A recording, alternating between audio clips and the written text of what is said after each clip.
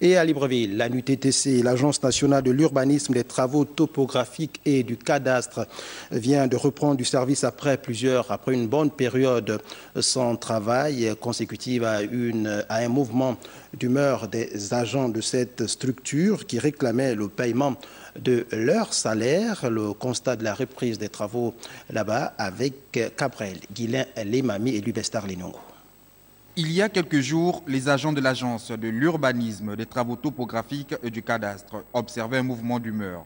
Ces derniers réclamaient le paiement des arriérés de leur salaire ainsi que les cotisations à la Caisse nationale de sécurité sociale et à la Caisse nationale d'assurance maladie et de garantie sociale. Il n'y a pas de raison qu'on peut faire deux mois sans salaire à la UTDC. Et c'est pourquoi on veut bien clair.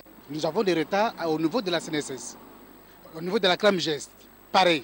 Face à cette situation, la direction générale de l'agence était engagée à trouver des solutions urgentes. Actuellement, euh, grâce à la réactivité de nos tutelles respectives, hein, la tutelle administrative, donc le vice-premier ministre et euh, le, ministre du budget, les services compétents sont à pied d'œuvre pour que la solution appropriée soit trouvée dans les meilleurs délais possibles.